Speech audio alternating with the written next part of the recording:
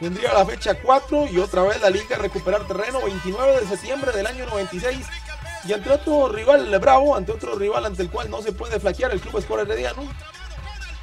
El campeonato apenas calentaba y la liga pues aún no tomaba vuelo, así que el estadio no se llenó. Aquí se decreta penal.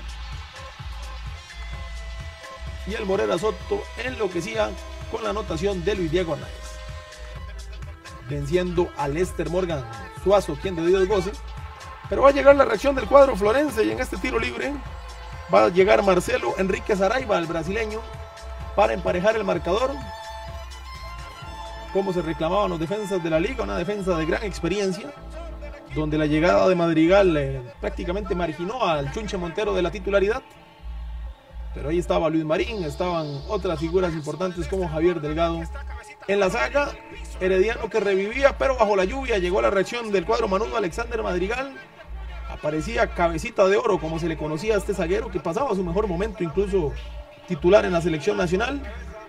2 por 1 y la sentencia iba a llegar en este rebote de Lester Morgan y Bernal Mullins 3 por 1.